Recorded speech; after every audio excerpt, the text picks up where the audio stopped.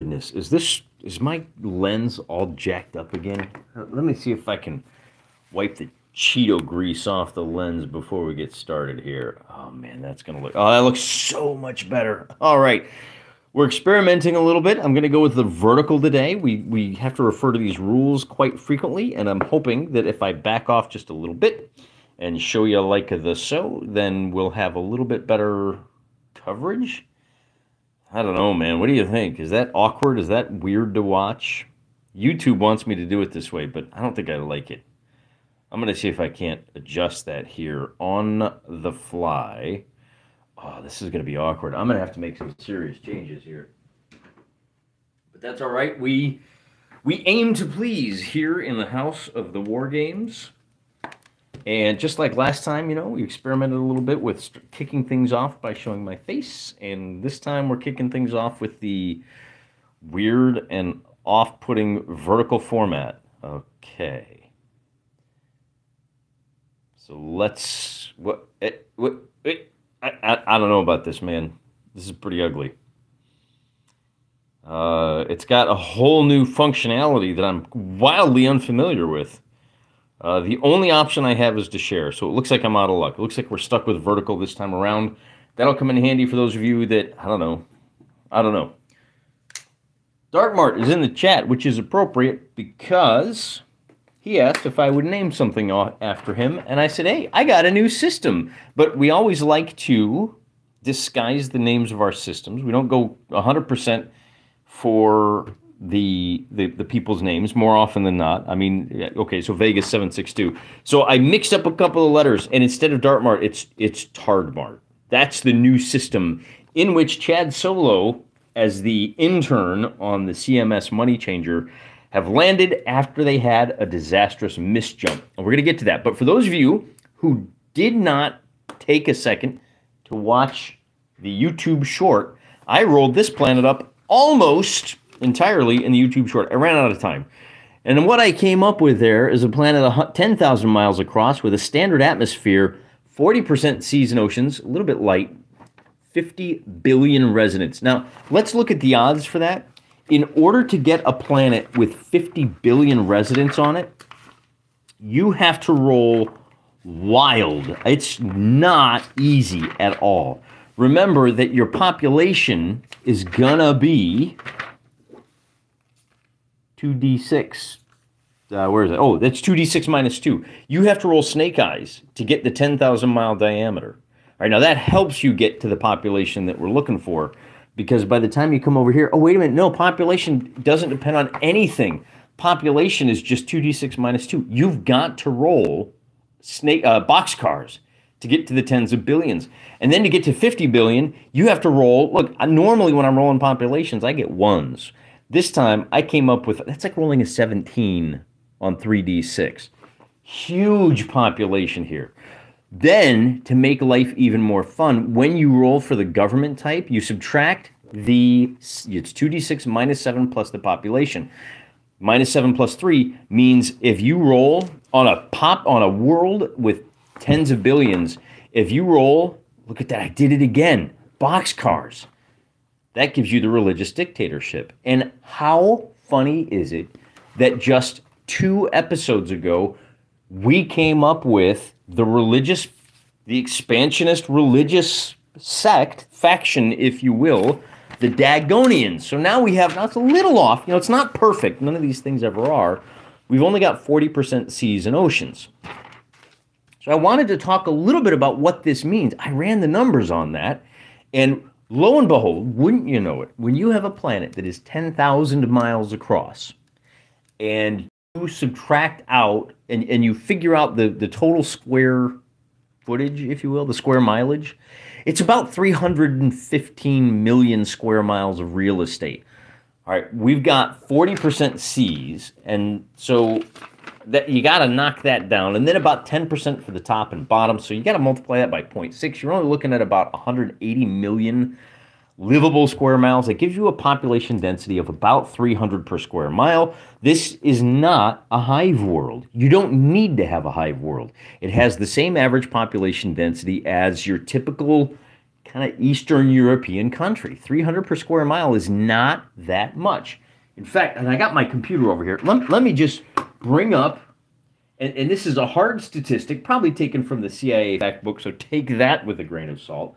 But let's look up population density.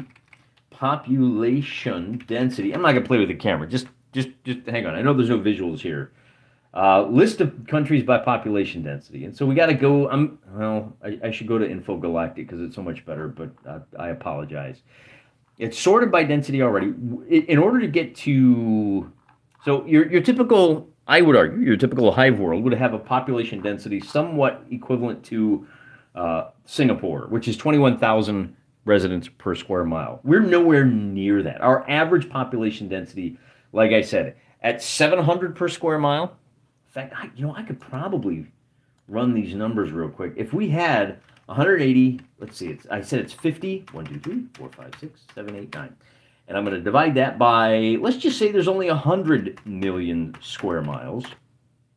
That's going to give us a population density of about 500 per square mile. The United Kingdom is 720.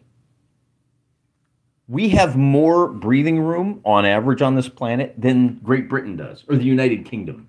Oh, that's the whole United Kingdom, though. That doesn't include all of the, the member countries, does it?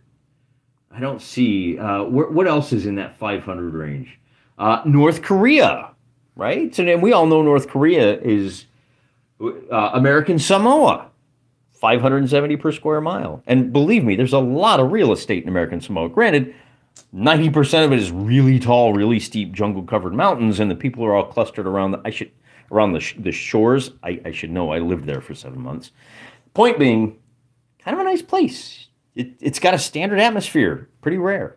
The one thing that I haven't, which, which, one thing I haven't done, I'm working on finishing my sentences, is roll up the law. I'm going to do that right now. We're going to find out exactly how controlling this religious dictatorship is. But in the meantime, it's the Church of Dagon. We've now found the home planet. We know where Hank Hillsong lives. And with 50 billion people on the planet, it's no wonder that they have expansionist tendencies. I do need to roll for the law level, and the law level modifiers, of course, are, and I need to figure out the tech level. So we're going to do that real quick here. The government type is, is going to be, the law level is going to be 2D minus 7 plus the government. So it's 2D plus 3 to find out exactly how controlling these guys are. And with a 10, possession of any weapon. So they have complete and total gun control. And we'll put that here. And, and knife control as well. Law equals to 10. Probably no surprise there. They have a prescription on bladed weapons. All of their clerics don't like it. And maybe it's a little weird that Hank Hillsong is opposed to gun control. I, I'm I'm sus- I suspect that his high priest is Dale Dribble. Dribble, right? It's a yeah, you get it. Okay, so I got uh, I got to write this down. It's a ADA, and then our tech level is gonna be the standard chart down here. Rolling a D6, it's gonna be ooh pretty high. With a starport of C, that takes us to eight. With a size, oh, it doesn't matter with an atmosphere of six. That doesn't matter, so we're still at eight. Hydrosphere doesn't matter, we're still at eight. Population through the roof, we're at, at tech level 12. And then with a government of A, that doesn't matter either. So we're actually at a tech level of C for these guys. This is the highest tech level we've seen so far. Model 5 computers are good. Tech level 12 gets you almost, oh, it gets you to grav belts and drives of N. How about that? Very high tech level, very strict, very uh, waterlogged. Um, I'm guessing that the 40% of the land that is water is very uh, is, is is considered sacred. So that's the first thing we got to do. The second thing I wanted to do, well, there's there's there's a couple of second things I want to do. I need to figure out. So now that we've jumped to here, I need I need to map out the rest of these. But do I really? Do I need to do that just yet? I don't think I do because I want to finish the the the little mini adventure of this misjump. As we said last time, looking at the calendar here, our ship has misjumped on April 6th. And we're gonna we're gonna go to the um we, we got it. We're, we're, we're dead in the water. We got to refuel. We have just enough fuel to get to um, to Tardmart. But wait, there, there's a gas giant here. When we misjumped, are we close enough that we can blast into like can we can we swing by without wasting any time? Are we close enough to the gas giant that we can skim this time and save ourselves 18,000 credits? Now that's an interesting question. There's a lot of space in a hex, and because we completely blew our, our jump, we're lucky to be able to make it there at all.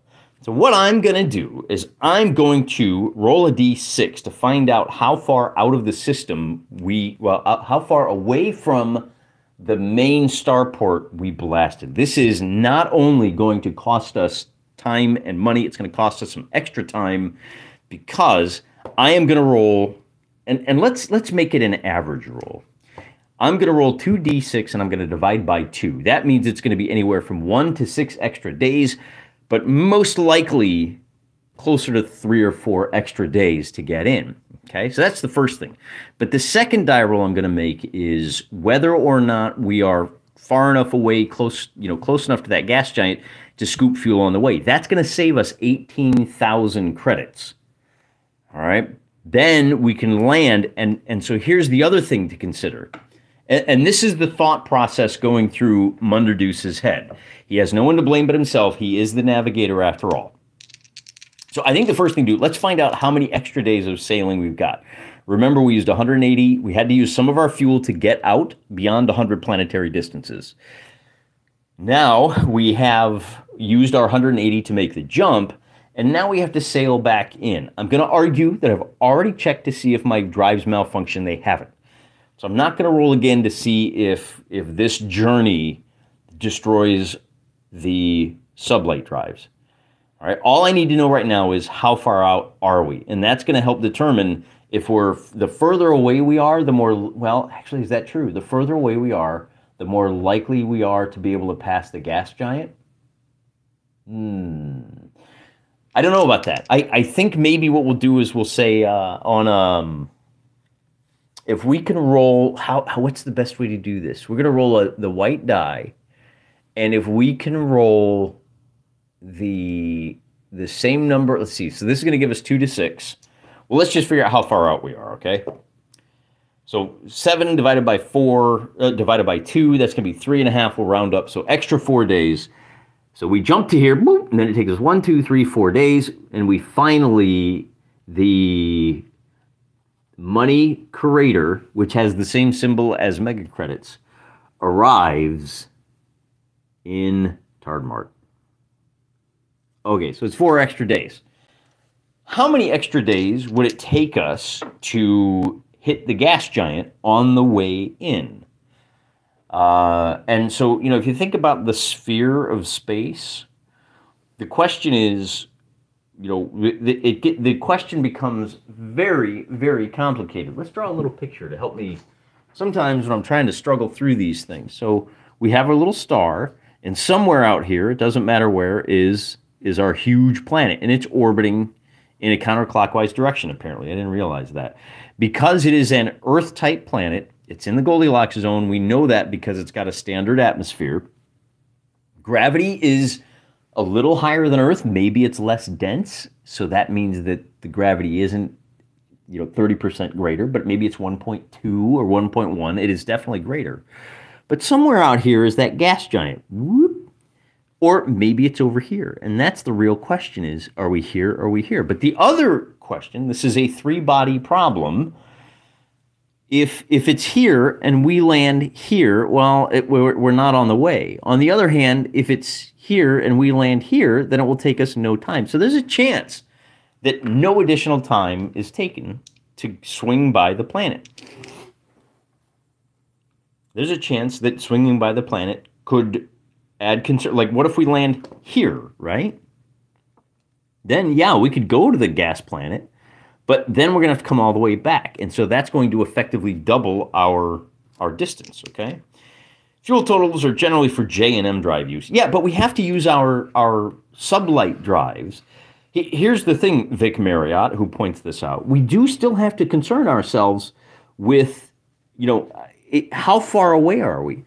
How long do we have to burn? And then if, if we're going to make a pass, we're going to have to slow down. And then if we want to get back to our back to the home planet, we have to burn to accelerate and burn to slow down. And because we are because of this little problem here, we may not have enough fuel to even get here in a reasonable amount of time. We're only going to have with 10 tons of fuel, we're going to have a thousand minutes of burn time. I, I, is that right? It's for every ton, it's 100 minutes. And if I've got 10 of those, then it's 1000. Yeah, I got a thousand minutes of burn time. Now we can get there and back. That's not the issue. The issue is do I have enough time under one, well, two G's of acceleration? My ship can accelerate at two G's. But if, if I, do I have enough fuel to be able to, to accelerate long enough to make the time of this journey short enough that I don't run out of supplies? Or ultimately, I don't want to add more than a week or two to this. I'm already behind schedule, right? So that's the issue. And really, I think I think what we'll do is we'll roll. Um, I'm gonna roll. I'm gonna do this trick where I roll, and the six is good, and the white is bad. And this is how much time. So it's gonna be roll this, and then subtract this from the amount of days it would take to get to here. And if it's if it's a positive number, that's how many additional days I have. If it's a negative number, then it's just zero additional time. So I get a three and I get a four. So it would take one additional day, and I'm gonna do it. I'm gonna take the extra day where something like this, where uh, I gotta catch up to this planet, do my drive by, and then get back over here. That means that it's not gonna cost me any money to refuel. And this all might be moot, right? So we're to arrive on the 18th on uh, Tardmart. But I'm still not done with this, am I? Because I still haven't. I don't, I don't think I rolled for. Does anybody meet us as we come dropping in? Maybe there are some pirates in the vicinity who have been waiting for just such an opportunity the the we have to roll, and because we have a Class C starport, we add two to find out what our encounter is. I get a 13, and that means a subsidized merchant passes. And he says at some point in these these four days, and a subsidized merchant. Then we have to go back to the random encounter table, which we're going to be at minus one. This may be a rival of ours who doesn't who wants to feed us bad information. So we hail them and say, "Yeah, we had a misjump. They're just aren't we we lament and they and they're they're sad with us because there's just not a lot of refined fuel in this corner of the the galaxy, this subsector. I ran the numbers. You have refinable fuel four times in 10. I have rolled 17 times and I've hit it which should lead to 6 or 7 planets on average. I've rolled four. Now, there are five, but that's because I didn't roll for one of them. I just arbitrarily declared it. I'm way overdue. So if we decide to build some systems here, or at least find out where they are and what the starports are like, then I think we're going to start making up some ground here. They might have a VDC letter of marque. Yeah, we're getting close, right? We're we're getting to the point where we have to start thinking. Uh, when does our boy is going to be jumping to Intania? remember old uh, Jeremy, the scout? He's going to be in Intania soon, and we're only a jump three away, so we could meet. But again, Jeremy is he's he's so far in the future. He's not available until April fifteenth, so we're still like sixteen days away from that, or more than that, aren't we? Yeah. At, at any rate, let's find out what the reaction is. So we hail them and say, "Yeah, oops, what are you going to do?" and we get a 6 minus 1. They're hostile. They may attack. Oh. They may be used to determine the response of a person to business offers. Reactions govern the reliability and quantity, right? Because our planet, oh, our planetary population is wait, wait a minute. 11 or greater? This is one of those little wrinkles that was not play tested or they didn't catch it. This is why we use play testers, right? Your population can't be higher than A unless that means it's a six. They're unreceptive. They don't want to talk to us. That's fine. We, we, we got enough problems of our own. We you know we don't need to we don't need to borrow trouble from somebody else. How do you get a population of 11? You you you can't, can you?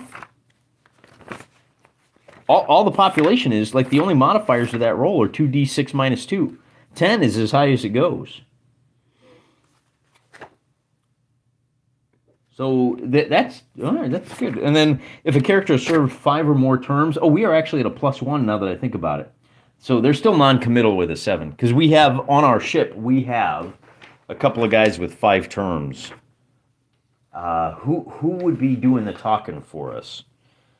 Who's the old man of the of the of the mission? I didn't write down Munderdeuce's age.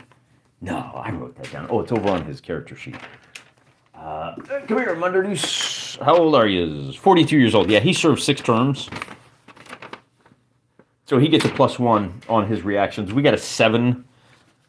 Remember, charisma is not a dump stat. You, you could also argue that with his charisma of of I can't I haven't memorized his character sheet yet, so I gotta pull it back out and relook at it.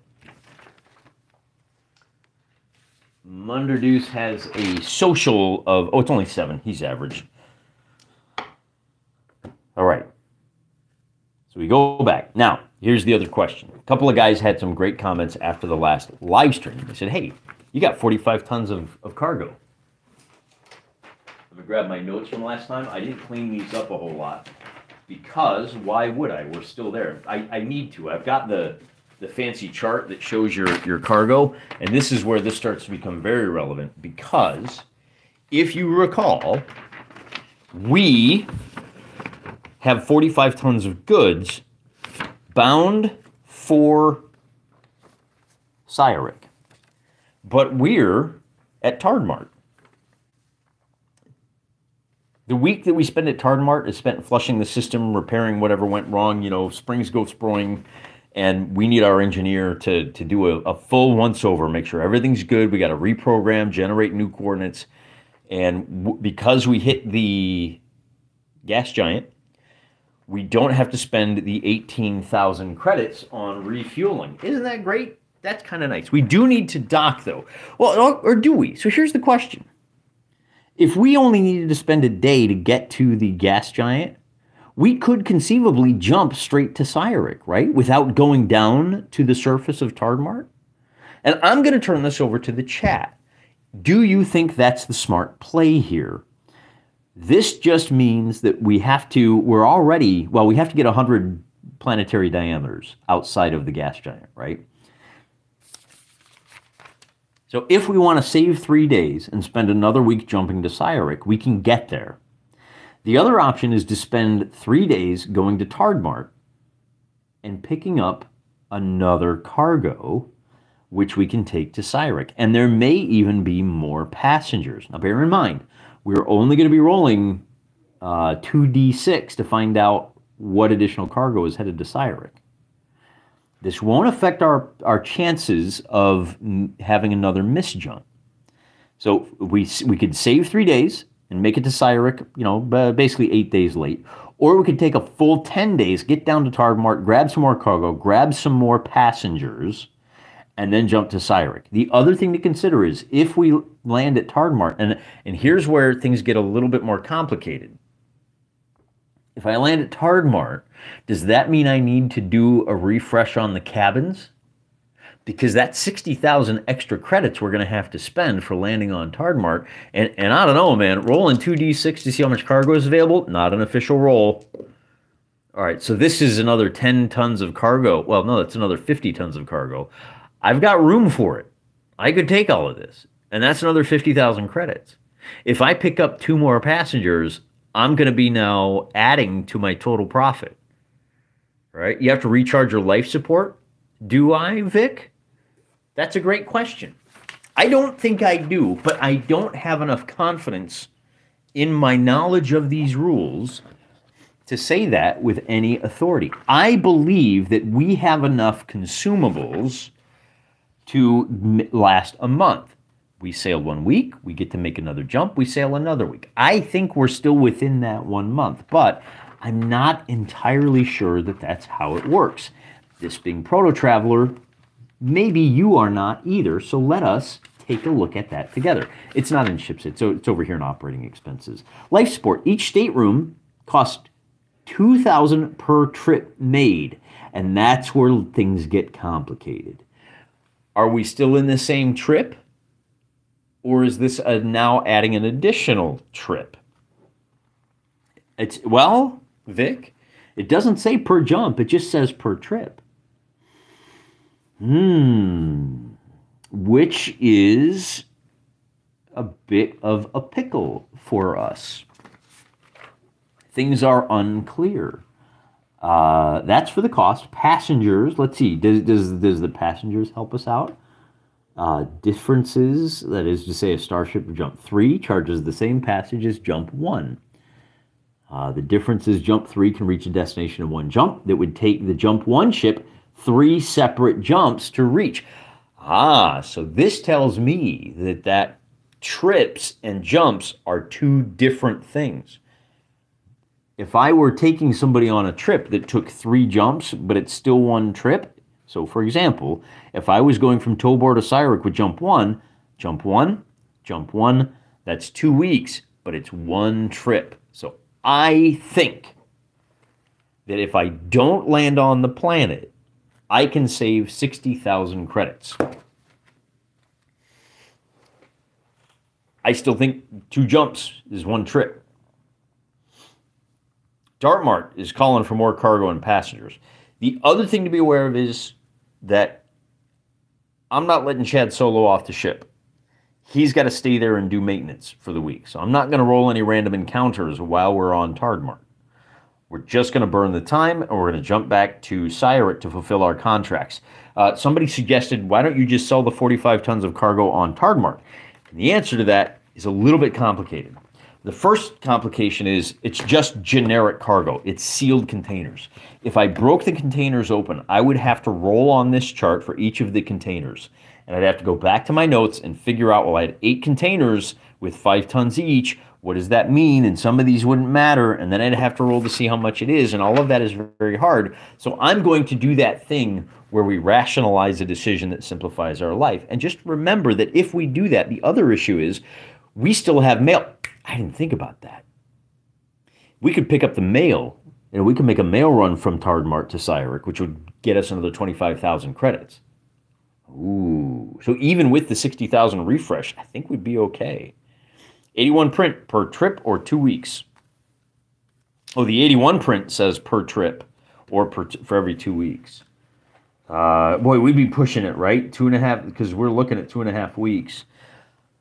Uh, so there, there's a couple of things to consider. One is we're running the mail. We can't sell the mail. Still got to get to Cyric. If we break the, if we break that contract, we lose our subsidy, and now we are wanted by the Tard Martians, by the Corvinians, by by the Tor- Toborians. Everybody around here is going to be mad, and every single encounter we have with the ship is going to be hostile. Not only that, but we'd have to figure out what to do with the 25 passengers we're carrying. Could we sell those into slavery here? I first of all, just as a as a regular person, I'm not comfortable with going that dark. I I like to to be the hero. I consider myself a paladin of the internet. I am an aggressive paladin, and so I'm gonna try to always err on the side of what is good, what is right, and what is beautiful. Uh, and then, like I said, it would be hard. I'm going to fulfill the contract. We're going to try to jump back to Cyric. And it gets harder because now our impulse drives, we are at plus three. One for here, one for here, and one for here. And that means we're gonna we're gonna break down on like an eight or better on that 2d6. We still only misjump on a nine up, but you know, there's a big risk here. While there, go to the bars and gather more intel on nearby systems. Well, again, Dartmart, I'm not worried about that because we're, we're kind of looking at this through two different sets of eyes. you and I, as we look at this map right now, are looking at it through the eyes of Chad Solo. The fact that we've landed here, that but that's not the case. The perspective that Captain Deuce has, he's got all the star charts for the entire subsector. He's got his route. You and I don't know what Dunder Munderdeuce's route through this subsector is. We just said it's Bing Bing, and we don't know where else the pinball goes. We need to find ourselves a couple of more, and I'm guessing this is going to be a real lucrative place to land, but only if there's a Class A or B starport somewhere nearby that our route will take us. Danger jump, danger jump. Take a deep breath of the good juice. Danger jump, try to get to the good juice.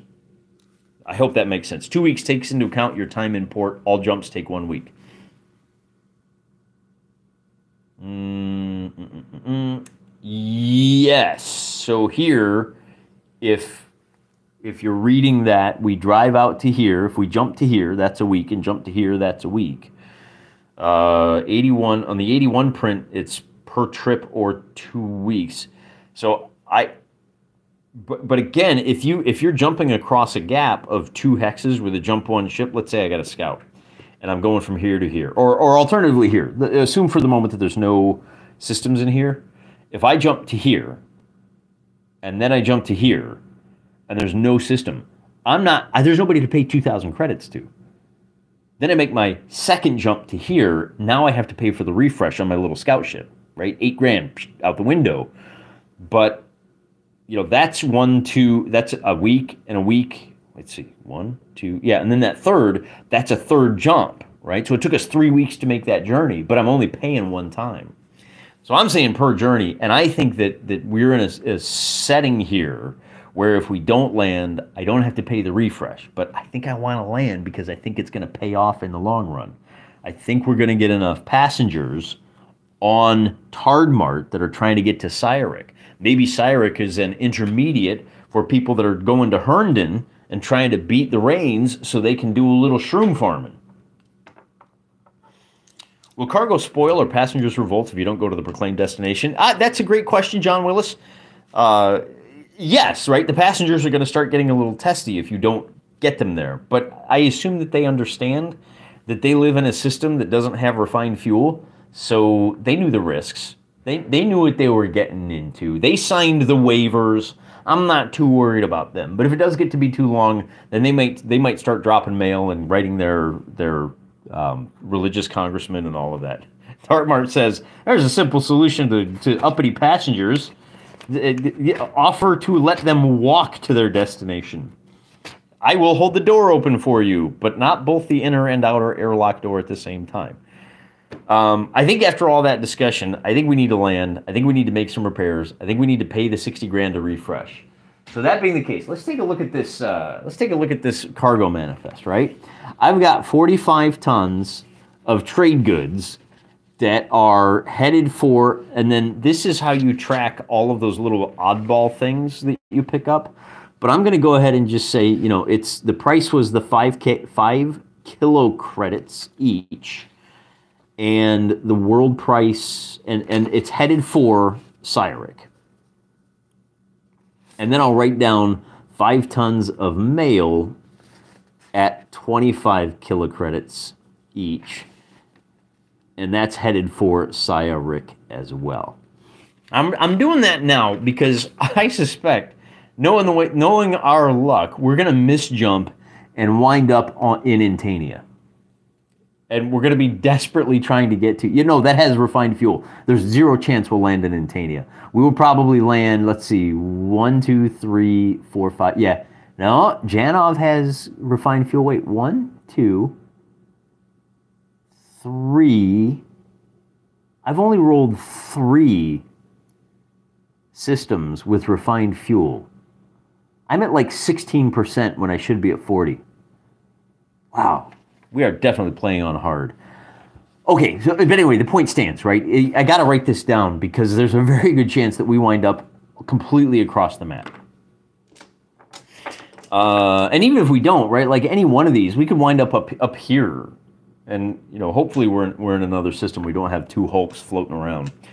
Uh, so now that I've written that down, let me go back to my notes.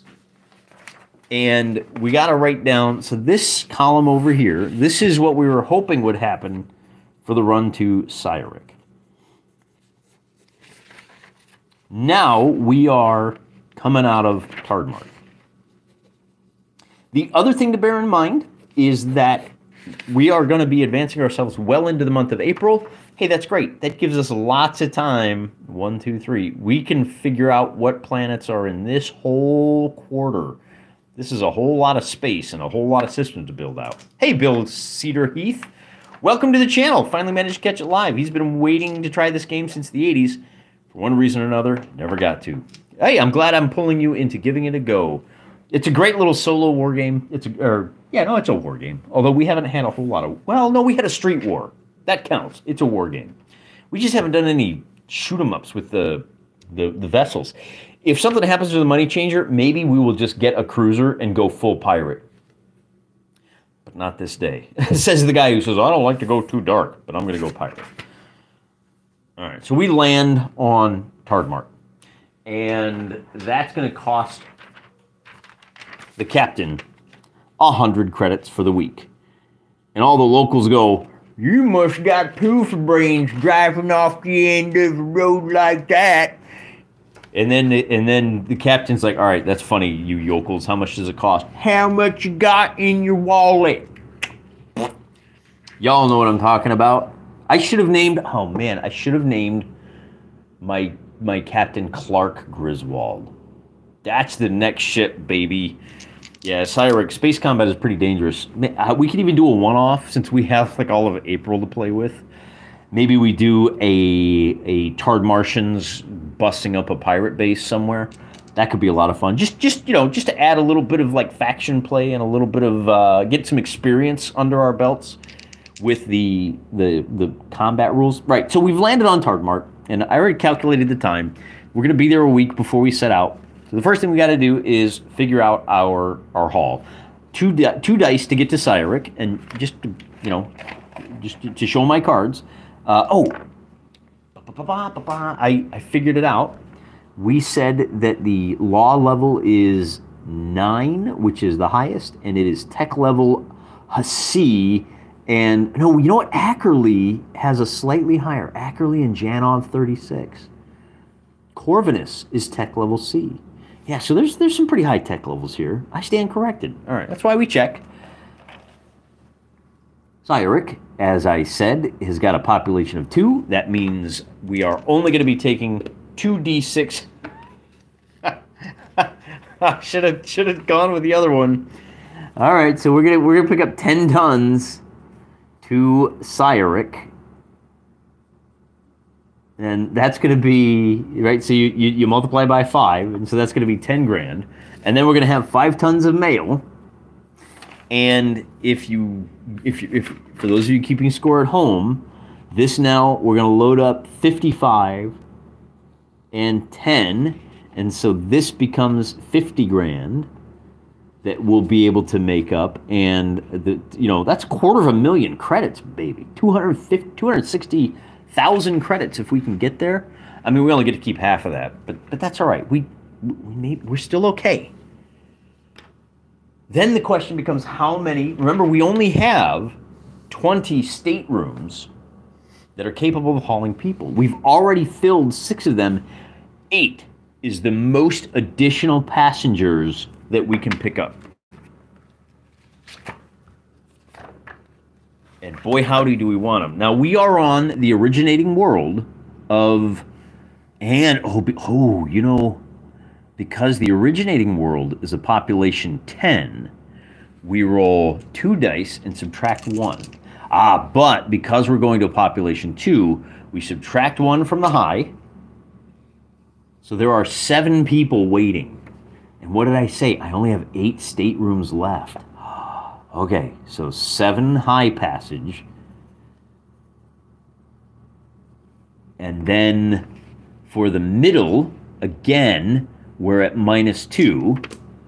So we get three minus three. Nobody wants to fly middle. That's fine. I, I can deal. And then it's four dice in low. And I have plenty of space in low, but I have to subtract four from that for my destination. So I take out these four, and I've got 10 more low passage.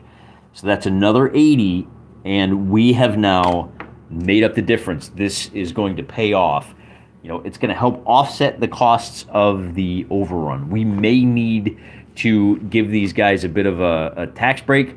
We, we're, you know, we're not exactly Southwest Airlines here, right? Yeah, we're really badly delayed. Sucks to be you. Let me throw a Twinkie at you. Here's a packet of pretzels. We may have to cut not not low passengers. We don't care about them, but like the high passengers and mid, we may give them like a ten percent discount because of the extra delay. But maybe they're happy. You know, maybe they were excited. Maybe some of these guys were looking to get to to to Tardmart anyway. Not going to deal with that. I'm just going to say, for now, I you know what? Let's let's do that. Let's let's go ahead and give these guys. We're we're going to give these guys a twenty percent discount uh, I don't have to, but this is what a good captain does. I'm going to make this uh, 48,000, and then these guys, it goes from 36. We have to subtract uh, 7,200, so that's going to go to 29.8. I, I know that's a lot to give up, but but you know the 20% discount will keep so many people happy. And and ultimately the other thing that this does is it gives us incentive to keep hitting these gives us additional incentive to be as responsible as possible with trying to use the good fuel. Was there anything I'm missing? Ah, we do have the opportunity. Because it's a big world, there's a lot for sale here. Let's see if there's anything that we can buy on spec. Oh, I okay. Ah, that's that's the question. Remember, it costs us 60,000 credits. Am I missing anything on the, the cost of, of operating the ship? So we skim the fuel, which we're probably going to get some dirty looks from the guys running the pumps down there on uh, at the at the starport. Uh, I I want to know starship components. So fuel, just going down the checklist. We do have our 30 staterooms. That's going to cost us 60 grand. And we may need to come back here because at Tardmart, we're going to be at minus 60. And I think what we'll do is we got to take out a loan at, call it 10%, so that we have to owe 6000 We got to pay that note back but that will allow us to refresh our staterooms. We don't have to worry about crew salaries. We paid those on the first.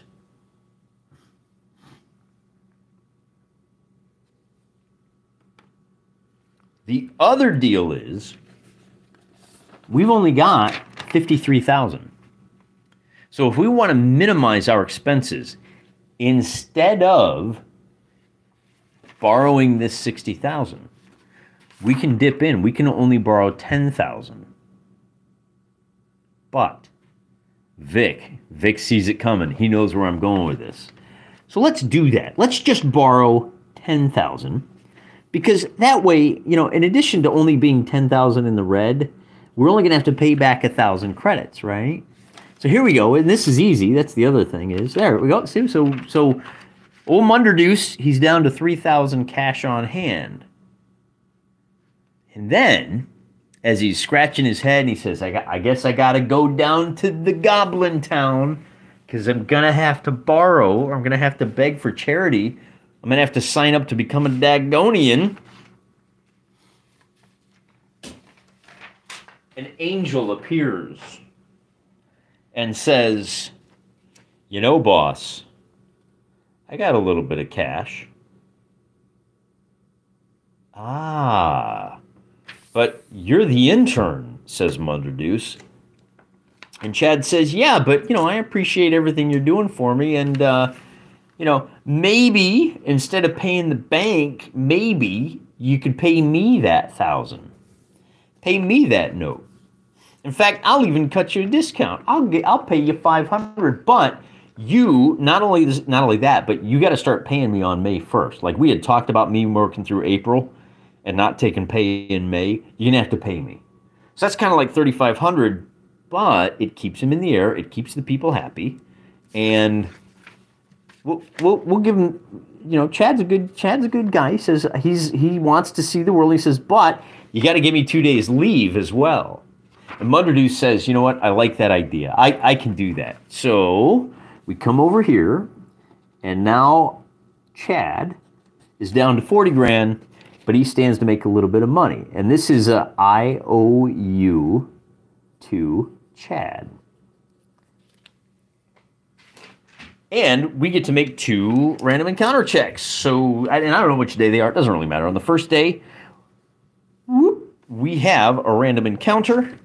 And that encounter is going to be black die is the tens. The black die is the tens. We get a 65.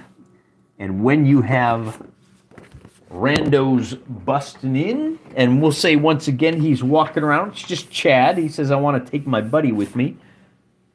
Yeah, who's your pal? Who's your good friend? And it was our combat monster. It was our assistant to the steward. No, it was our assistant steward, uh, who is unnamed yet. Oh, that's too bad.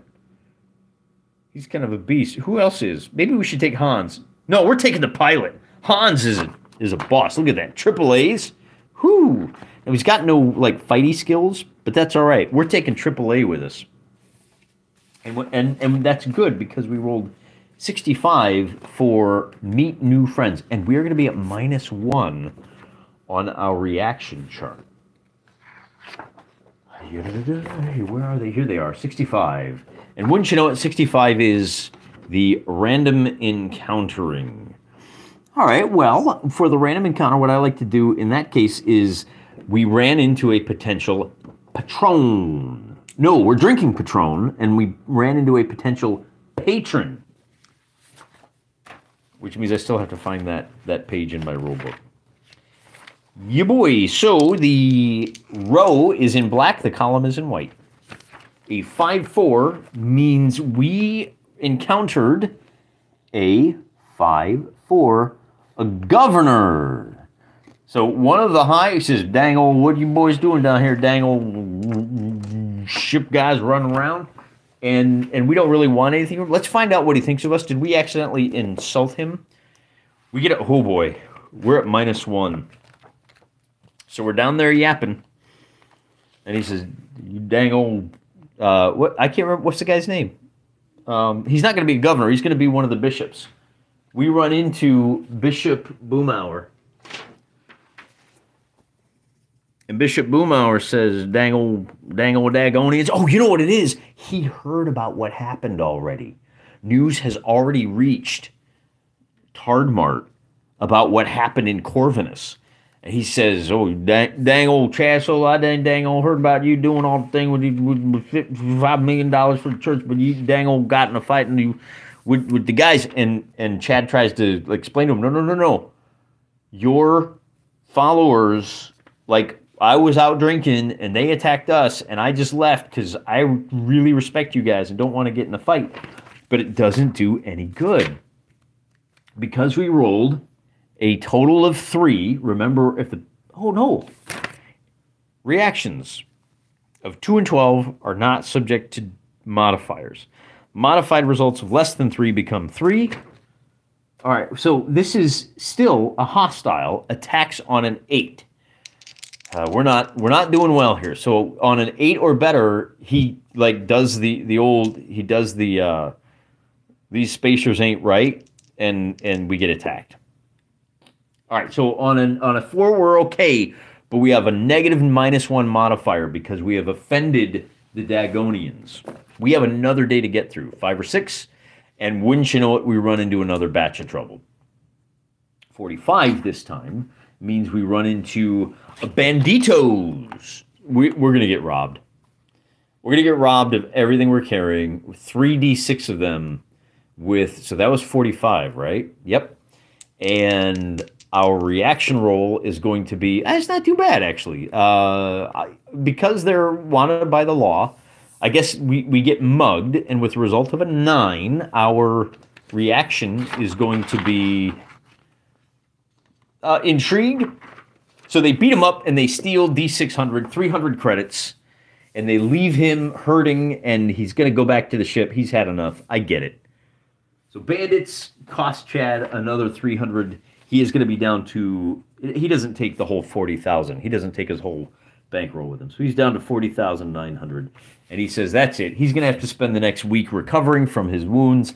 Not even going to do the thing. Have you fellers had a look at this video of this old this year old Hypnotoad? All right, so we got through that.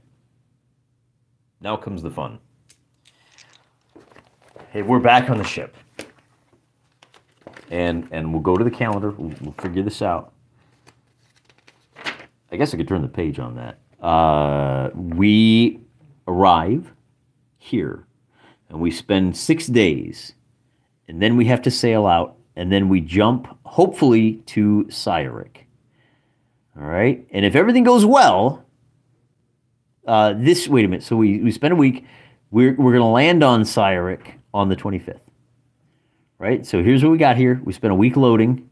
We got through. We just did a couple of days of uh, of random encounters, and then we jump, and then we'll be there on the 25th. So yeah. So this is going to take us through the end of April. It's going to be really important. I take good notes so that I remember all of these little modifiers. We know that the Church of Dagon does not like uh, the the heretic who comes from a watery planet and has rejected the bubbly song of Dagon. That puts us back into outer space and back on the risky road. We're like dry ice road truckers here, baby. Moon Martian ice truckers. When you want to. So the first thing you do, we're using contaminated fuel. If it's used, there's a chance the drive will fail while in flight. On an 11 or up, we crash and burn, throwing once per jump in which unrefined fuel is used. Well, we did it once and twice. We are now at plus two. We need to get less than a nine. So five, it's a seven. Okay, so our, our sublight drives are still good. Now we have to jump, and once again, we're using unrefined fuel. We don't want, we've got a plus three to this roll, looking to get less than 12. Seven plus three is 10. We are okay. We jump to Cyric. We land safely and we begin our week. I can run the numbers now. When do I roll for the Black Raven again? Uh, this Sunday. Do you want me to roll right now? I'll show you how I've been keeping track of that. Uh, there is uh, here's here's March, and I needed to roll on the 24th, and then on the 31st. So on boxcars, nope, for the 24th, and now for the 31st, uh, nope. That's a that's a nine. So I have completed my checks. They are still stuck out there in March. And then just to, what I've been doing is I have a little BR, and this is my visual reminder. That's why I didn't remember to do it because I didn't write my little reminder down. Every Sunday, I roll to see if boxcars, and if so, then we roll for the encounter. Thank you for the reminder. I appreciate that, Vic. Uh, Maxime Thibault, this is Traveller. Let me be a little more precise. There are at least seven or eight different versions of this. I am using the OG 1977 Game Designers Workshop by Marc Miller. So there it is, 1977. This is not even the facsimile edition. It's not 1981. It is the original game in all of its glory. Warts, glorious warts and all. There are some weird things that happen. We touched on this earlier.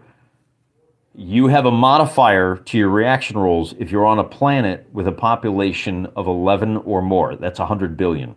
But there's no way to generate a planet with 100 billion people. So why do we even have that? Well, arguably because you could, as a GM, design a subsector from the bottom up and put planets with 100 billion people on it, in which case your PCs would be running into that minus one modifier. But for us, there's no mechanical way of achieving that number.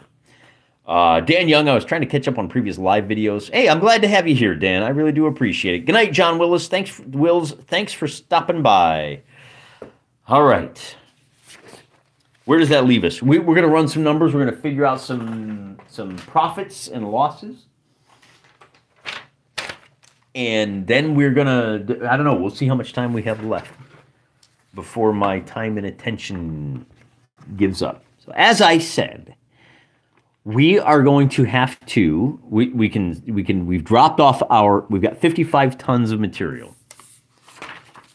So it's bishop bishop boomhour. Boomhour and then there's probably that means there's a bishop dribble too.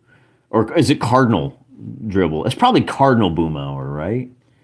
Anyway it doesn't matter. What does matter is i've got 55 tons of material and if you multiply that by uh, five, you're going to get uh, 275,000 credits.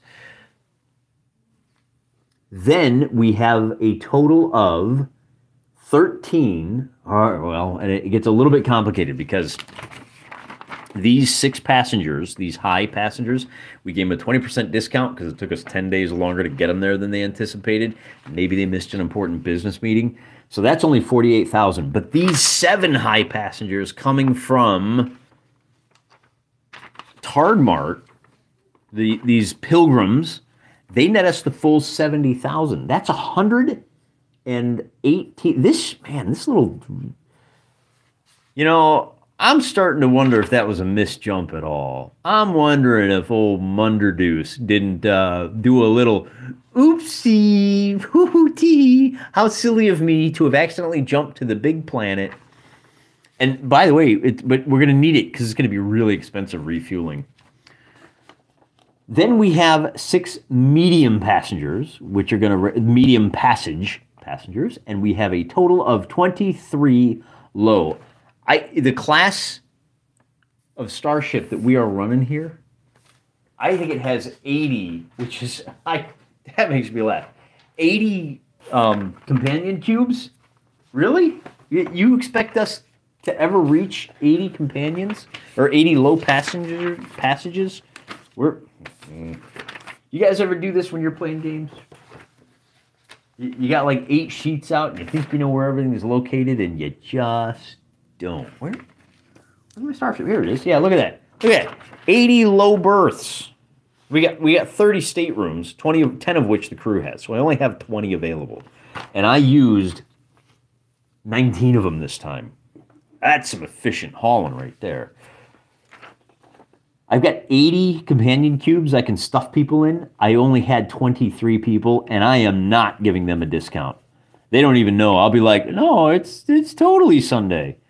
Uh, and then it's going to be 50,000 for mail because I took the mail from Cyric to Cyric from both Tobor and Tardmart. Cha-ching. I think that's it. That's everything. Man, if we had some spec, it's probably better that we didn't. Maybe that's what Chad was doing down there when he got jumped by the bandits.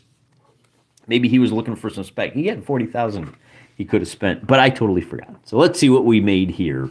Our gross is going to be, let's see, 12, 25, carry the 2. That's 10, 9, carry the 1. 498,800 credits.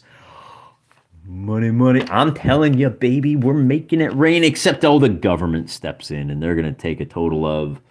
I, all right, this is beyond me now. I'm going to have to break out the Google Math. 495,800 divided by 2 is going to be a total of 247,900 credits equals 247,900 credits. Oh, but you know what? We also need to figure out that 55 tons is going to cost us, let's say it was 55 tons, 550 credits for hauling down to the surface. So that's only 247, 350 credits. Oh, but we have to pay 10,500 to Chad. So this goes up to 50 and 5. 50,590. And that takes us to 230 6,850 credits in the bank. Yeah, boy. Now I got to subtract the 60,000 because I got to do my full refresh. I got to hose out the the the staterooms there. And that's going to be, you know, oh, you know what? Now that I think about it, You know what I would have been well within my rights to do? It's too late. But for future reference, I've got a steward working for me to keep people satisfied. And I probably could have said, look, why, why am I not putting this guy to work? He's steward too. This is where, you know, having other players comes in handy. Say, look, he's got to convince these people that this is a good thing. I'm going to make a steward check. Now, this is what I should have done, and you know, I go through it because it'll remind me next time. I make a misjump, and you all know there's gonna be a next time. The the target number is eight. I'm at plus two. The target number is six. So if I can beat that, then we'll we'll say if I if I beat it, if I roll a ten or better, then I don't have to do the discount. But if I fail, then the discount is going to be 25%. And so with a six, I just made it. I only have to cost myself 10%. Whereas if I had rolled like a 10, then yeah, there's no discount. People are happy. They're having a good time. He's a good steward. He's a good steward. Oh, we're taking a detour. I want to show you guys something fancy. Takes him down and, you know, again, I, I, I think I'm within my rights to do that, and and to say, look, you guys understood the risks, and I'm going to give you the 10% discount. I'm going to, or, or that 10 instead of the discount, I'm gonna it's still going to be full charge, but I'm going to treat you to a night out in the, um, I don't know, the, the gardens of of watery Rome, of, of the the Rome of Dagon. It's it's the the Arlen Temple. I think you have to call the capital of the Church of Dagon Arlen and all right, so that means, but back back to the the finances. Once we back out the sixty thousand credits, and then oh, here's where it gets really pricey. I have to buy 180 tons of fuel at 500 per.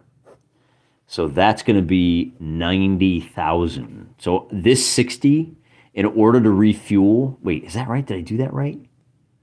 There's 3 and then 8 is it is it 90 is that right 90,000 I think I wrote it down on the on the starship here so I wouldn't have to do that every time yeah it's 90,000 to refuel but this is refined fuel so I got to I got to pull off 150,000 and and you know we're all sitting here oh look we made all this money we made all this money no we didn't make no money I mean we made a little bit because this is going to come down to um th- this becomes carry the two this is going to come down to 76,850 credits. So we're, we're actually doing okay. We did make, we, we have cleared 76,000. And I'm going to add that to Munderdeuce's tally 79,350 credits.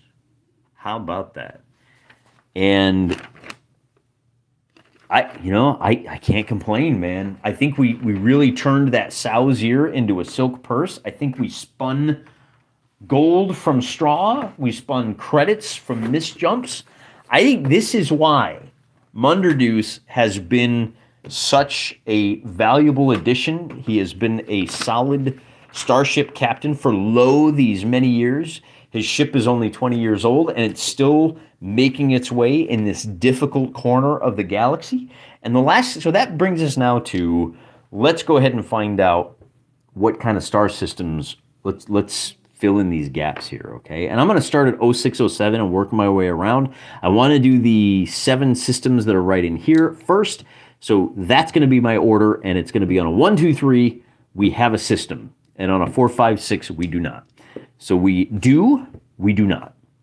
We do not, we do not. There is a system here, and there is none, none, and none. So now I have to go one, two, three. There is, there is, and there is. Yeah, baby. So we've got four more chances at refined fuel. And while we're at it, let's find out one, two, three, four, five, six. That's pretty good. Yeah, let's do those six. And again, on a one, two, or three, yup, nope. So there's one here, there's a no, and there's another no. And then 0505 is a no, 0506 is a yup, and 0507 is a no. So it's getting a little crowded in here, fellas.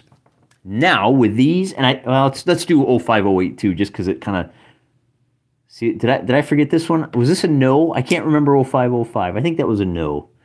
Uh, if you go back and watch this and you're mad at me because I, I got it wrong, then I apologize. 0508. And that is a yes. So there is another system right here.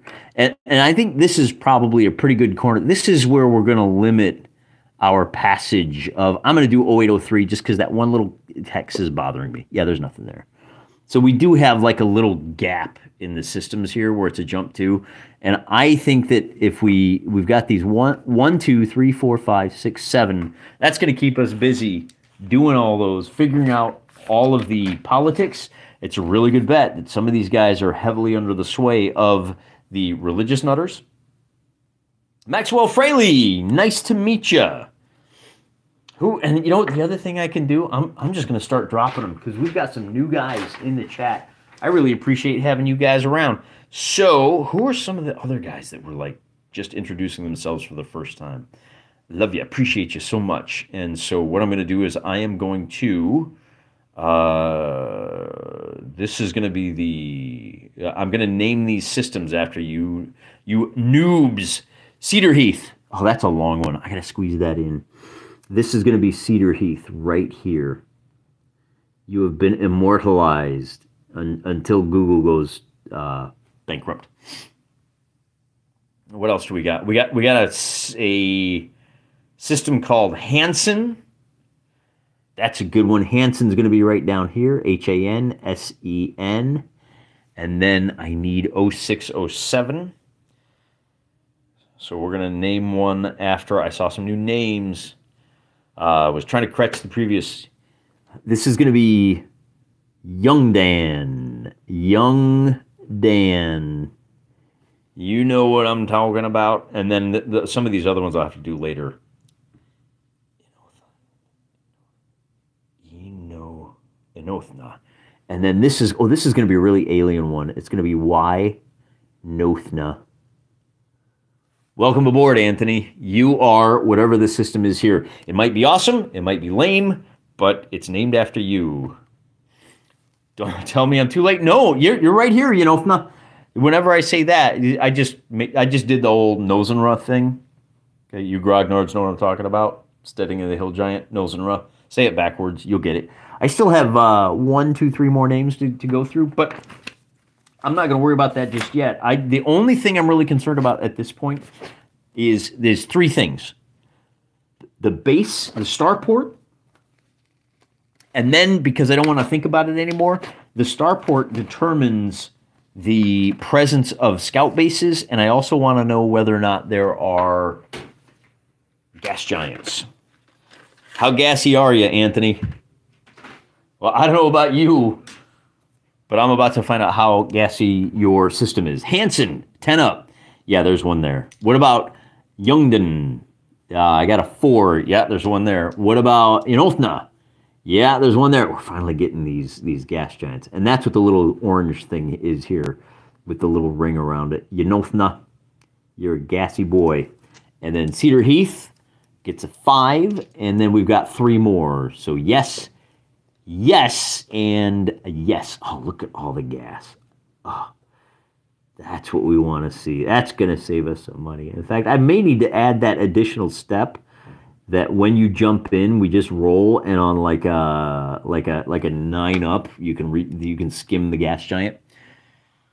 All right, so that's independent of all others. That's why it's so easy. Maxwell oh, Fraley, yeah, that's the one I wanted to do. Fraley. Fraley. And I know I misspelled it, but that's because I want to be, make it impersonal. So when Fraley gets nuked, when the Helldivers start dropping planet busting bombs on it, then I don't feel so bad because I don't feel like I killed you. You know what I mean? Anthony, you should, man. This is a lot of fun. Uh, there, there are enough little, you know, this, i tell you what's great about these old games like this. They have subsystems that you can play with and enjoy in their own right. There's all these little things to explore. We've barely scratched the surface of this. It's only three little black books, and there's just so many worlds of adventure. We haven't even begun. Like, like I, we already did the animal adventure. That was a lot of fun. But I haven't. We've done a little bit of ship construction. I haven't designed a, sh- a ship from the ground up yet. But Look at all this, man. Planetary templates. Look at this. This is vector movement. Oh man, the physicist, that little corner of my soul that still retains that little bit of college physics. Look, look at these equations. Oh, I actually earned a math minor in college. I just didn't fill out the paperwork because I didn't care. Oh, I gotta get a protractor. Oh, oh, oh, the nerd in me is just jumping for joy. I, I also need to figure out the jump routes. Uh, there may be some around here. So let's start with Hansen. Hansen. I got to roll on the starport chart, which looks exactly, looks a little something like this. I'm to put it up there so you can see it. I know it's hard to see, but what are you to do? Uh, so I roll 2d6. There's no modifiers, and I'm hoping for six or less. Hansen. Ah, help. Oh, Hansen. All right. Well, I won't hold it against you. What about Youngden? I get a seven. A lot of lot of Class C starports. It's a middle class part of the galaxy. Uh, Inolfna with a nine, Class D. Not helping me out, Cedar Heath, man. I'm counting on you, Cedar Heath. Oh, you vey. All right, C, and then Fraley, man. Fraley, are you there for me? Are you there for me, Fraley? With a five, we've got that Class B. Yeah, boy, that helps. That really helps. Because now we, we are on Cyric. We can hit Tardmart. We can hit Fraley. Uh, maybe an off now, but we're going to have to take a look at how big these systems are as well. And then I'm going to check this unnamed system. The system to be named later is a Class C. Man, it's so crazy how 7 is the most popular number to roll. I wonder if anyone ever noticed that before. Class B, yeah, boy. All right. Who, whoever would have thought I would be so excited about just having a, a little thing. Now, the other thing I want to do, because this will help determine things, is see this chart. I'm, I'm not to, I, there's no, how do I do this, man? There's no good way to show that chart and over here. Uh, I, I should have done the I should have done the the horizontal. I'm kicking myself now. I'm so stupid. Oh. All right. Well, I can't show it to you. You're just gonna have to trust me. I need to know whether there is a link between Herndon and Hansen, a Class C to a Class D. There will be a jump route on a four or less. Wait, is it four or less or four or more? Uh, if the one die roll is equal to or greater than, oh, there's no link there. All right, what about Youngden? We're looking for a four. Nope. Okay, what about Hansen to Youngdan? From C to C on a three or greater. Yep. So these guys are connected like so. What about from Inolfna to Youngden? From B to C, that's going to be on a two or more. I rolled a six, so there will be a jump lane here. And then from B to D, ooh, I got to check. I already checked Cyric to Herndon. I got to check from Cyric. Now, this is a jump two to Youngden. That's only on a four or more. There is not. What about from Cyric to Inolfna? That is from a B to a D. That is on a six only. No. What about Cyric to Tardmart? From B to C, a jump two on a four, five, or six. Yep. So I gotta, I'm gonna bend it a little bit like Beckham. We're gonna come down here and show that Cyric. Oh, look at that. that! Oh, that's why it was so easy to make that jump because there's actually a jump lane there. I can't remember if I checked Unofna to Dartmart on a four or better, so I'm gonna check again. I got a three. There's no no connection. And then we've got uh, let's do Cedar Heath to Enofna. That is from C to D on a four or better. Yup.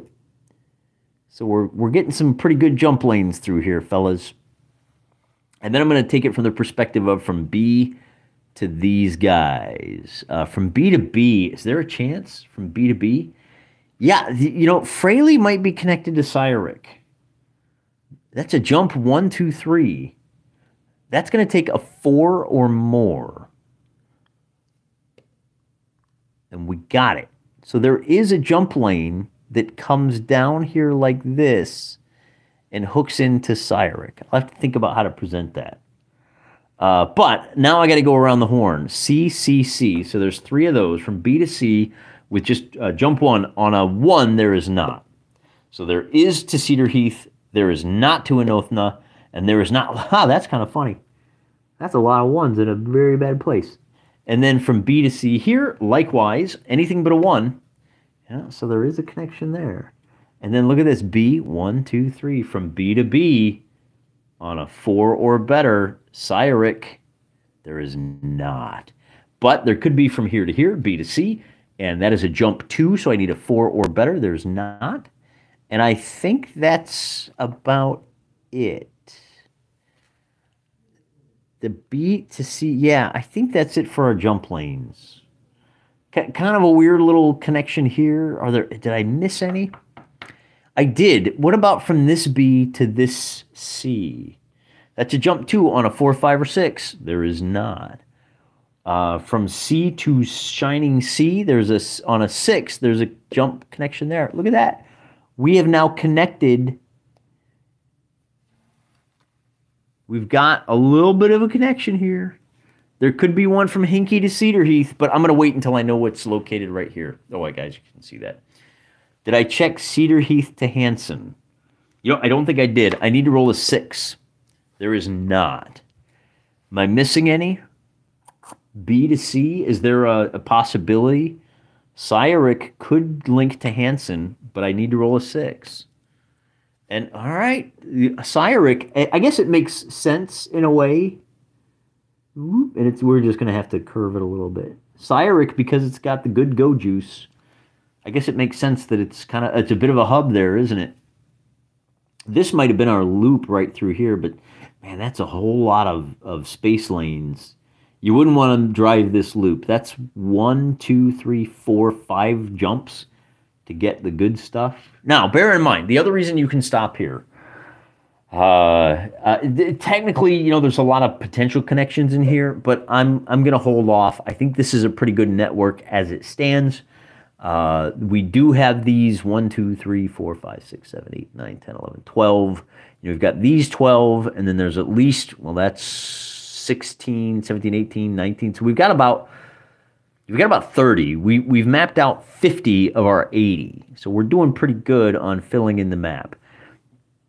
The the Fraley and this unnamed system up here, they're they're probably connected to some systems over here. Uh, Go-Way may be connected to one or two systems. We'd have to check when we know what they are. And um, yeah, I guess I guess that's pretty good, man. I'm liking it. I'm liking it. We've got uh, the other thing to, that I should point out. One of the reasons I'm at a like mental stopping point. Tardmart doesn't have anything fancy. It's not agricultural. It's not industrial. It's not not industrial. It, it's just it's just itself. You know, it's just it's just in the moment. It's just moisturized. It's just in its lane, doing its own thing. Um, and actually, you know, that's kind of funny. It is kind of on its own little space lane there too, isn't it? Uh, oh, I know the other thing I wanted to roll. The other thing that's independent of everything but the starports is the scout and the naval bases. Naval bases are present in our Class B one. We've only got two of those. So naval base, naval base. You need an eight or better. We get a five, and then Fraley has a seven. There's no naval bases. Scout bases are present on a nine and a nine. So no scout base, and Fraley does not have a scout base. Now I got to check all my C bases. Scout bases are present on an eight or better, and I'm going to go one, two, three, four, five. Just right down the horn. One, two. So Cedar Heath has a scout base. We got a whole lot of scout bases out here. The National Galactographic Society is busy, busy, busy. Tardmart. Ha- oh, we already rolled for Tardmart. What am I doing? That was a roll for Youngden. And then it's one, two, three. And then I have to check for Hansen. Has a scout base. That's the press. And then scout bases are present on Ynothna on a seven or better. And wouldn't you know it, Ynothna does have the little triangle. It gets the black triangle of wonder. We didn't have any E class either. Yeah, solidly middle class system here. Kind of digging it, fellas.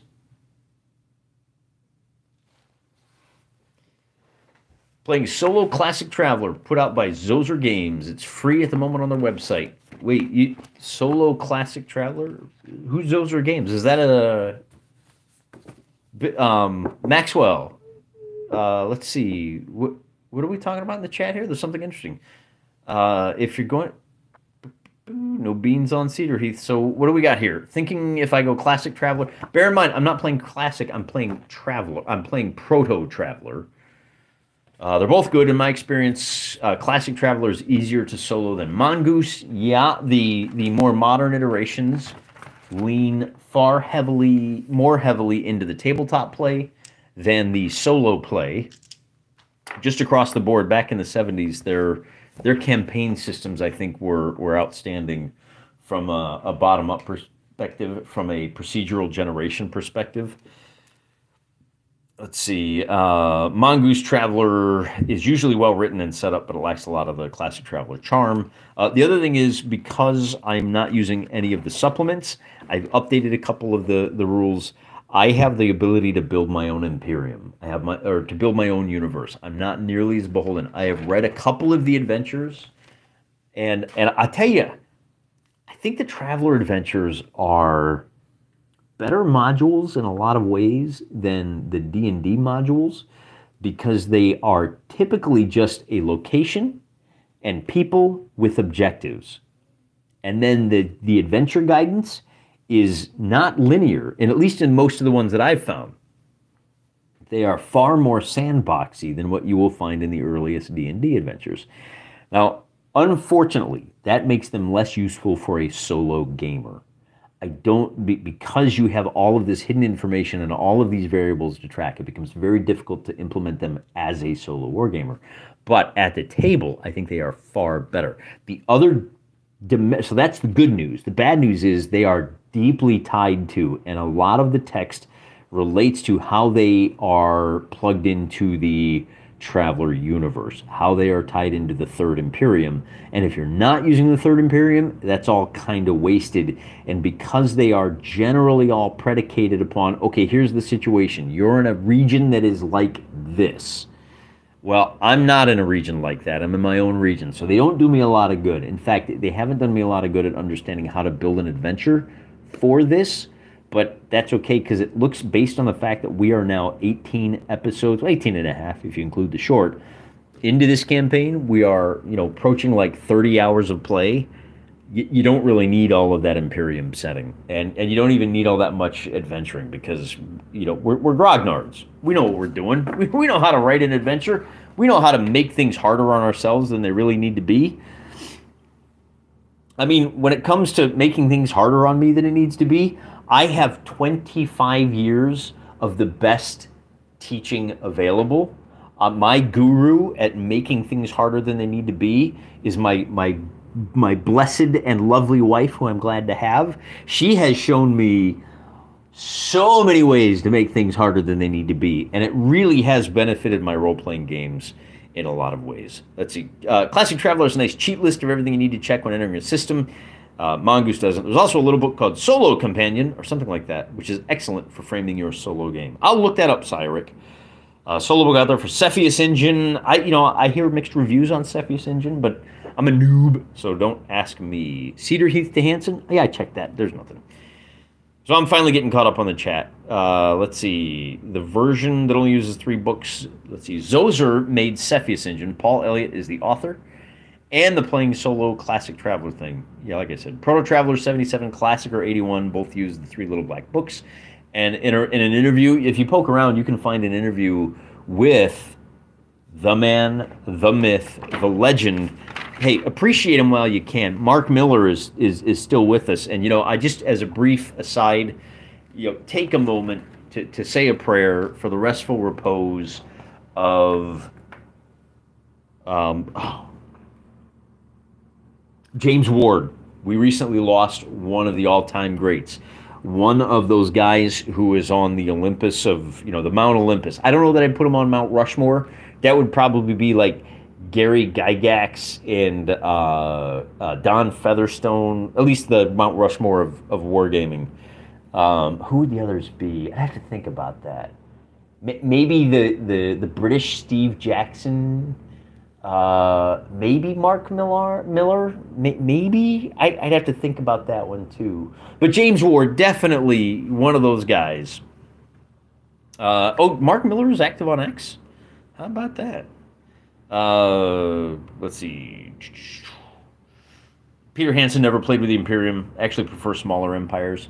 Yeah, I, you know, the, the, the question becomes how do you like what what what the heck do you mean naval base? Like normally the naval base is pretty clear. That's the the big boys. That's the alliance. Thank you, Dartmart. But when you don't, that, that mostly minds their own business. Oddly enough, I think the Imperium in Traveller is a lot like the Imperium in Warhammer 40k. Or perhaps I should say the Imperium of Man owes a lot to the third Imperium of Traveller. I'm not 100% sure, but I think the third Imperium of Man predates the Imperium of Man. Is that what it's called? Third Imperium? Third Imperium of Man? In that you have these like hugely powerful navies that mostly leave these guys alone, but there is this naval base here that forces you to have to think about the Imperium from time to time. If you read the the fluff on 40k, all of the combat is centered around places where fighting happens. But you don't get the resources to keep a planet like Terra going if you're not strip mining and and like ag mining and and drawing in resources from millions of different planets where you know, not all the planets are um, not every planet has to be a uh, Cadia, a, a, a Krieg. Like like those are notable, and we talk about those a lot because those are the war planets.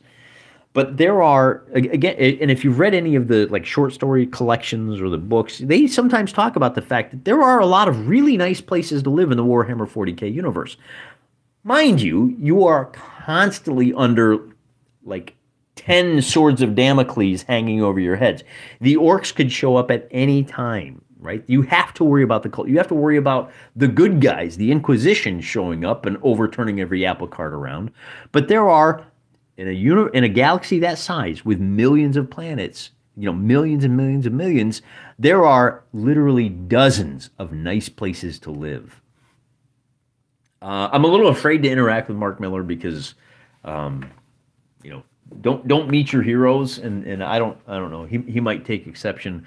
Most of the really like wildly popular uh, tabletop RPG people uh, uh, are not um, thrilled with me because I say things like you don't need to spend money on RPG products to have a great time, and that endless splat is a is a fool's bargain. It's a treadmill that does more harm than good. And so the guys that are selling the RPG hot dogs uh, generally aren't happy with me. The Third Imperium is much more pleasant. It does predate it. Yeah, and, and again, the, the we all know like there's no secret that the Warhammer 40k guys they they needed an excuse to fight battles and they needed a place that was torn by war. So everything they wrote is really really bad. And they took something like this and they turned it up to 11. They took Judge Dredd and they turned it up to 11. They took your your general orcs and they turned them up to 11 they took space bugs and they turned it up to 11 and that's amazing. It's an incredible intellectual property. And um, you know I, more power to them. Uh, where do the turtles fall in all of this? Anywhere you drop them zamora galaz. Let's see. Uh, the third imperium is more pleasant. Uh, in the the the war dogs incorporated book which i like to reference uh, it's it's one of the best traveller like non-traveller licensed traveller books. The the major Imperium is tasked with. They're the reason that you have all these different tech levels. Like they enforce the fact that this planet has a tech level of six, and, and right next to it, just three light years away, is a planet with a tech level of twelve. Well, why is that? And that's because you've got they're they're it's it's kind of unstated like the amber and the red zones uh, let's see. Pocket Empires is from Traveller 4. It's about smaller empires. Yeah, you know, at some point they played around a little bit with the meta plot of the Traveller universe and the Imperium fell apart.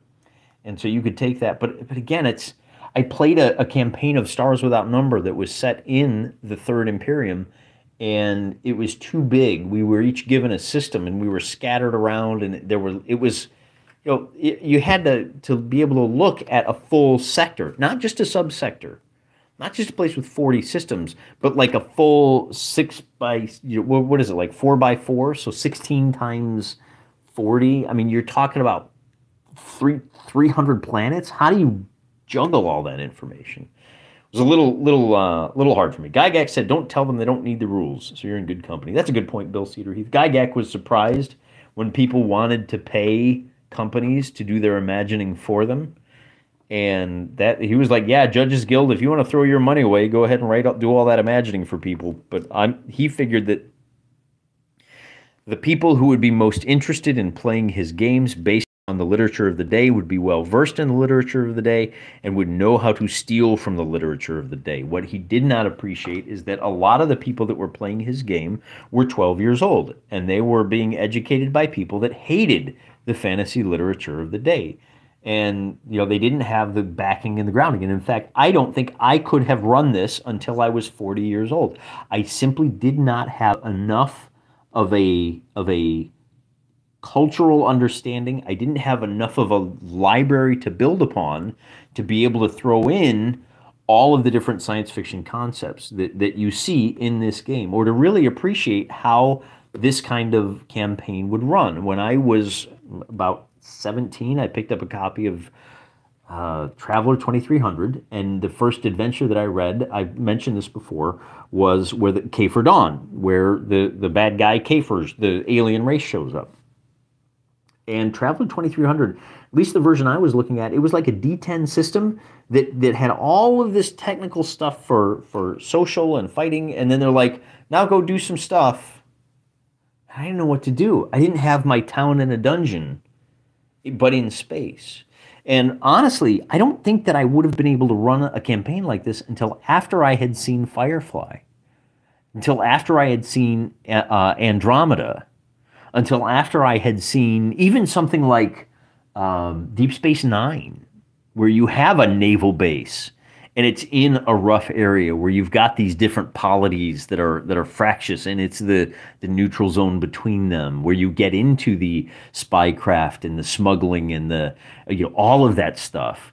Um, I, I needed to know that and and that's where at least back in 1977 uh, unless you had read the E.C. Tubb novels, on which this was, I had to read at least five of those to really understand what this was all about, or or even see a film like you know I some people have mentioned it before, and we've talked we've kind of glossed over it, but even a movie like Ice Pirates, as ridiculous as it is, that is a you know fundamentally you've got multi-system empires that have very high tech levels and then you've got these lower tech level planets that are basically Mad Max. And I mean, ultimately, one of the things that I like, so even something as ridiculous as Ice Pirates, is it's it's a spring from which you can draw the waters of a wonderful campaign.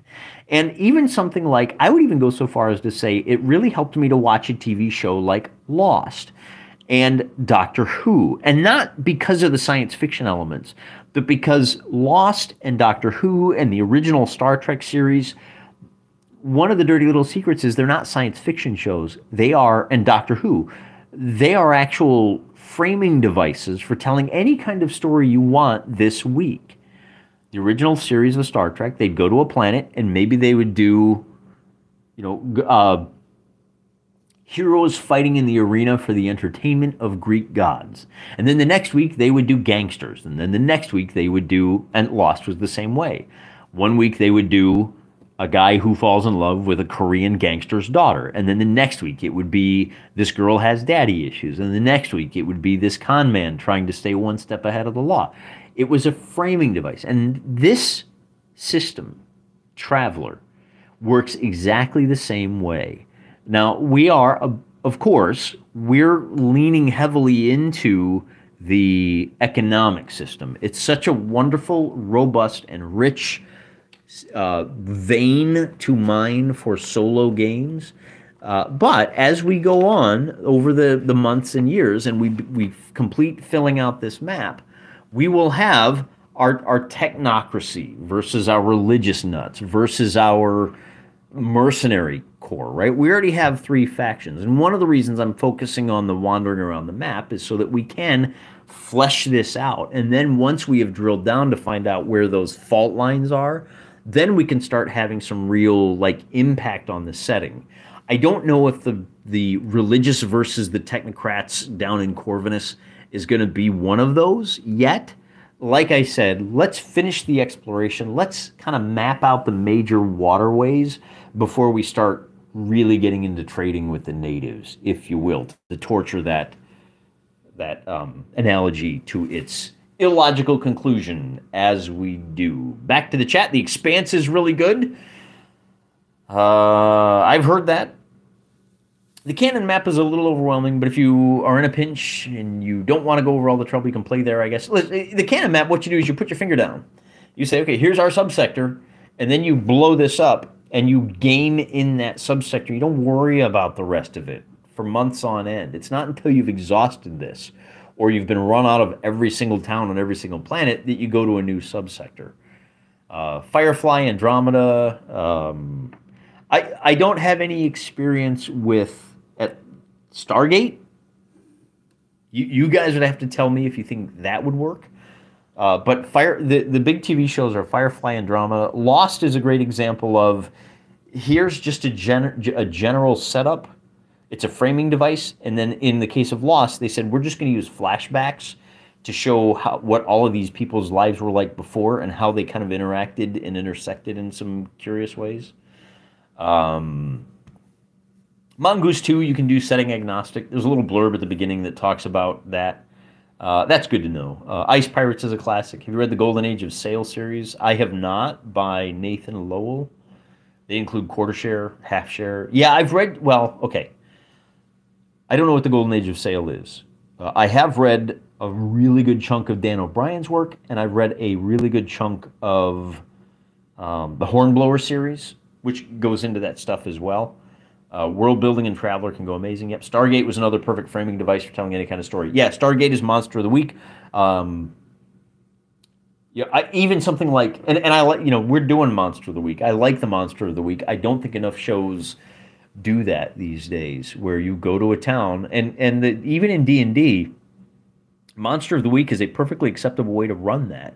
It has become, uh, unfortunately, there was a term called murder hobo, which has uh, drilled down a little bit. Like it, the original murder hobo was go to a town. Who do they need murdered? Oh, the goblins this week. Okay, and then you go to the next town, and, and I'm a little tougher, so I can murder the orcs that are threatening the town. And I go to the next town, and that's a perfectly acceptable. That that is a fine basis for a D and D campaign, right? Lone, uh, lone wolf and cub, going from town to town, righting wrongs, fighting injustice. The A team, but with wizards that's a great way to run a D&D campaign. A Traveller campaign can work the exact same way.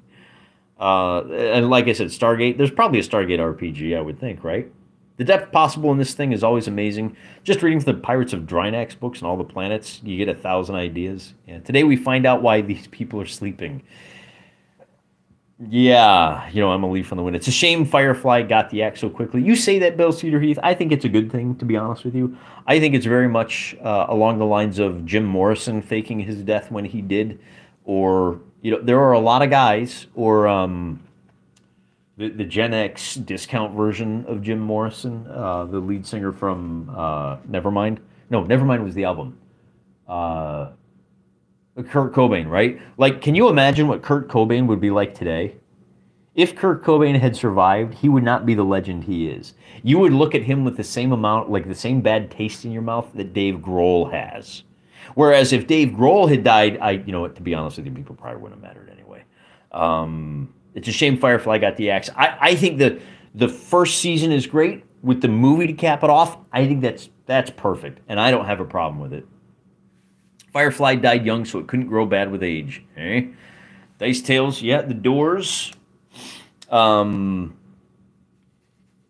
yeah, and you know, that, well, we won't, we won't get too much into that. Uh, I, I think we're good, man. I think we, we, we had some good adventures today. We've expanded our reach. We have a long way to go. We've got easily two weeks before the calendar catches back up with our adventurers, which gives us plenty of time to detail Hansen, Youngden, Inolthna, Cedar Heath, Fraley, and the two oh wait a minute, two systems renamed later? No, I don't think so. I, I got commenters right here, right now, that are ready to go. Uh, so this is Summit, C E M M E T T. And who else? Uh, Caleb. I already kind of named something after you, right? The warlord, Caleb. Uh, is anybody else missing in there? Do, do I name one Tice Dales? Let's see. In a sense, Firefly could have potential second season to expand the characters' backgrounds. Oh, is this a session recap? I was just scrolling through the shorts, and this seemed interesting. No, Emmett, see, we are doing a live play. We did a jump. We we did a misjump, if you're familiar. We were at Tobor trying to get to Cyric, and we wound up in this system right here. The, that planet is called Tardmart. And then we fleshed it out a little bit. And then we checked our dice, we rolled it, we made it to Cyric, and we made bank. 75 grand, even after paying our subsidies, paying off our loans. We did really well. It was a good session for us today. And then we started checking the chat, and we had some thoughts on, uh, you know, we, we, we are lamenting the loss of James Ward. Pour a 40 of Mountain Dew on the curb for one of the all time greats. We and then we talked a little bit about the differences between the editions of Traveller, and we just, man, we're just we're just hanging, man. We are just, as the kids these days say, vibing. But I am going to try to get some rest and see if I can get back to 100% tomorrow. So next time, guys. I'm praying for you.